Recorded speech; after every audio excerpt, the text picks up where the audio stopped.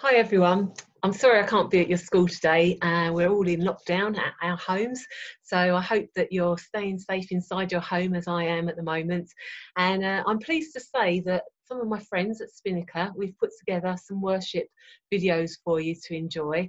So uh, our theme for this summer is amazing places. And I hope that you'll be able to enjoy worshipping uh, with us as we present these assemblies to you. Take care, everyone, and I look forward to seeing you all soon. God bless.